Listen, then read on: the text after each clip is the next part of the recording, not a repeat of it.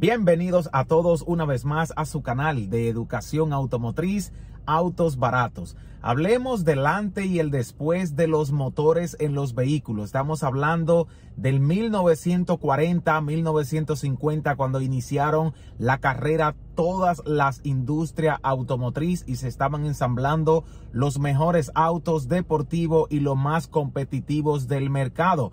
Porque en aquellos tiempos teníamos automóviles con motores que podían durarnos incluso 30 y 40 años en buenas condiciones sin tener que tocar ninguno de sus componentes internos. Y por qué en estos tiempos la mayoría de vehículos están hechos solamente para durar a duras penas 1 o 10 años. En general, esto es lo que conocemos como marketing. La mayoría de las empresas ensambladoras de automóviles de los años 50 terminaron quebrando y desapareciendo ya que se estaban ensamblando unos automóviles con motores que eran duraderos para toda la vida, lo que no era muy rentable para muchas empresas que vendían un automóvil y jamás volverían a saber de ese comprador, ya que éste no necesitaba comprar piezas y repuesto.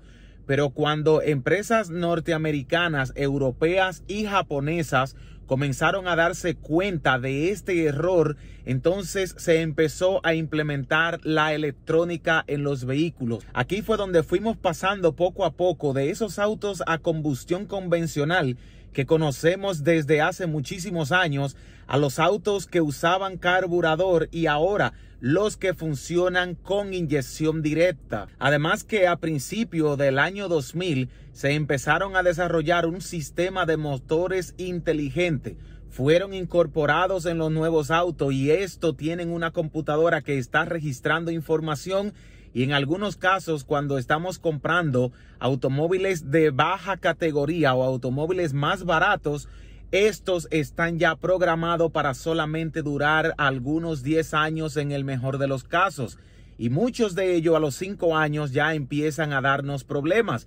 Y esto ha funcionado así en todas las industrias. Y si usted es dueño de un teléfono inteligente, lo conoce mejor que nadie ya que incluso las compañías como los iPhone, que luego de dos o tres años de que ha salido el siguiente iPhone, empiezan a ralentizar las baterías de los iPhone viejos para obligar a los clientes a tener que comprar un iPhone nuevo y así la empresa pues sigue teniendo clientes fieles y personas que siguen comprando sus nuevos iPhones.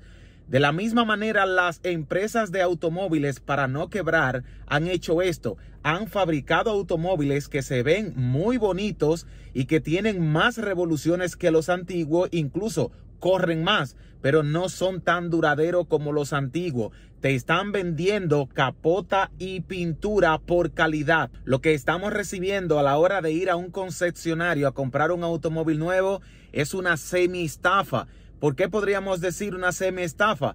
Porque te están vendiendo un carro que en muchas ocasiones, pensando que la garantía de ese coche es como en los tiempos de antes, que te daban 10 años y 100 mil millas de garantía de cualquier cosa que le pasara o desperfecto que tuviera el vehículo.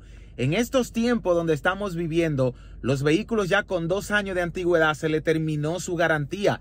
Y esto, si son vehículos de buena calidad, cuando estamos hablando de un vehículo que te cuesta entre 20 mil, 15 mil dólares del concesionario, en el año ya no tienen garantía, no te harán cambio de aceite y filtro gratuitamente y mucho menos si se avería algo del motor y la transmisión. Aunque para los clientes esto ha sido una estafa por las empresas fabricadoras de coche, para las mismas empresas que fabrican coche ha sido una gran bendición y una gran ganancia de dinero, ya que si ponemos uno de los mejores ejemplos, cuando se fundó la empresa Ferrari, Enzo Ferrari decidió fabricar un coche que fuera mejor que todos los demás, que fuera veloz, potente y bueno, pero se dio cuenta que cuando se adquirieron los primeros modelos, nadie más volvía a la tienda a comprar un nuevo Ferrari. Entonces empezaron a estudiar y la empresa prácticamente quebró. No se estaban vendiendo los coches. No porque no fueran buenos, sino porque quien lo compraba ya jamás necesitaría volver al concesionario por un Ferrari nuevamente. Y aquí fue donde la empresa tuvo que parar la producción de los autos por más de 40 años y luego empezar a fabricar algunos modelos con pedidos especiales porque los compradores fieles de la marca solamente compraban un auto para toda la vida. Hasta el momento, las únicas dos empresas que han sido rentables fabricando carros que duran más de 15 y 20 años en la mano de los dueños han sido en primer lugar Toyota y en segundo lugar Honda. Pero la estrategia tomada para que a ellos le funcionara un negocio que a otros lo llevó a la quiebra fue tratar de construir y ensamblar vehículos accesibles para todo público. Aquí vemos la gran mejoría que han tenido los coches últimamente. Mientras antes podríamos ver la corrosión en la, el chasis de los autos, ahora eso no es muy común en los chasis de los autos nuevos, pero si nos fijamos en los materiales usados, ahora se utiliza mucho el plástico, antes se utilizaba el acero. Para entender un poco las ventajas que tenían los vehículos antiguos contra los vehículos de ahora, además de que podrías tener un carro para toda la vida, es que la electrónica no estaba presente, todo era manual. Podríamos bajar los cristales de forma manual, que aunque ahora tenemos lo electrónico, pero era muy difícil que se te dañara una de esas piezas porque eran fácil de arreglar también el motor, cuando abrías el cofre donde está el motor, allí simplemente tenías el motor y el radiador. No habían todos estos cables, todos estos fusibles, aquellos sensores y todas estas piezas que estorban para que uno pueda hacer el trabajo. Y yo como mecánico les puedo decir que incluso los modelos europeos traen tantas funciones, tantos cables, tantas pipas y piezas innecesarias debajo del cofre que cuando levantas la tapa del bonete en realidad no sabes ni por dónde empezar. Y es prácticamente imposible para alguien que no sea un experto mecánico o que conozca de la ingeniería mecánica, como es el caso de los seguidores del canal que están aprendiendo educación automotriz, no vas a poder meterle mano a uno de estos autos porque vienen completamente sellados.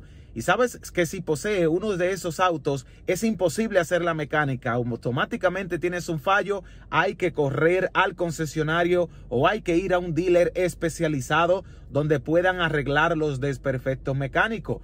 Pero si nos movemos 40 años atrás, a cualquier persona que se le dañara un automóvil o tuviera un desperfecto mecánico, podría arreglarlo desde su misma casa, ya que el problema era quizá cambiar alguna pieza que era visible y se podía incluso hacer el arreglo sin tener que subir el automóvil a una torre. Podías hacerlo de pie frente al bonete de tu propio coche, razón por la cual la mayoría de nuestros abuelos y de nuestros padres aprendieron mecánica, cosa que la mayoría de jóvenes no lo saben en estos tiempos porque le es imposible poder aprender si los coches vienen sellados.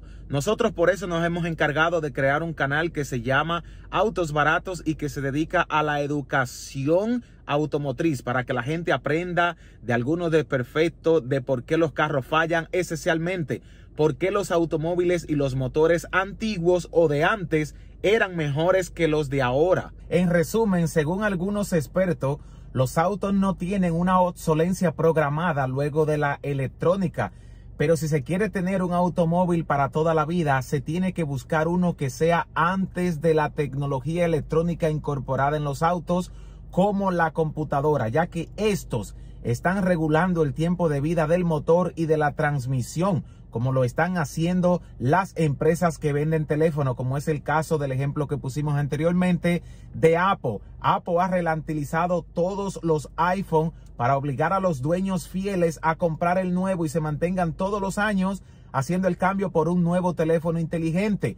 Las empresas automotrices han hecho lo mismo y han obligado a mucha gente. Por ejemplo, si te das cuenta, la gente rica y la gente que puede, que tiene mucho dinero, todos los años lleva el coche viejo a cambiarlo por el coche nuevo. Ellos lo hacen todos los años y es para evitar quedarse detrás, ir a la vanguardia de los dealers automotrices y a la misma vez ahorrar tiempo y dinero en los talleres y con los mecánicos, que es donde la mayoría de nosotros perdemos la mayor cantidad de tiempo cuando el carro ya tiene algunos años de conducción en carretera y es problema relacionado con el software, el hardware de la computadora que está programado para comenzar a hacer algunos desperfectos en los autos. Y yo como mecánico le puedo dar fe de eso, de que he notado mucho de que los carros vienen programados para dañarse en ciertas ocasiones. Si quieres tener un vehículo para toda la vida o un carro que te dure bastante tiempo en este momento y estás buscando, por ejemplo, un sedán,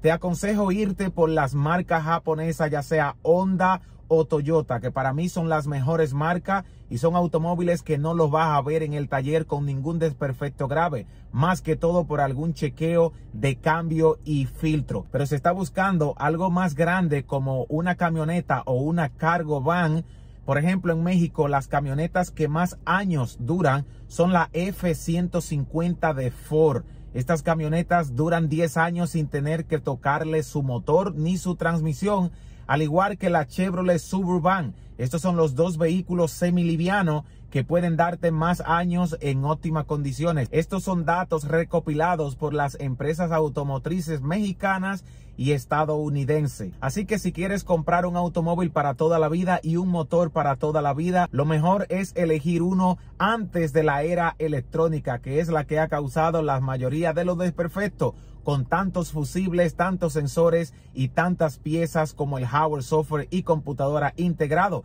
en los sistemas automotrices. No te olvides que si vas a comprar un coche o ya tiene uno, tener una buena póliza de seguro que te cubra y que te mantenga siempre seguro en la carretera a ti y a tu familia. Estar bien cubierto es sinónimo de tranquilidad y paz. No te olvides de dejarnos un like, suscribirte al canal, dejarme en los comentarios qué piensa de los vehículos antiguos y de los vehículos modernos y cuál de ellos merecemos nosotros comprar para tener un automóvil para toda la vida y un motor que jamás se nos averíe. Recuerden que Autos Baratos es el canal de educación automotriz que te mantiene siempre a la vanguardia y con los mejores temas de auto y que te enseña cómo encontrar los problemas en los autos, ya sean electrónico, mecánico o de carrocería. Para todos un gran abrazo, no se olviden suscribirse y recuerden que los queremos.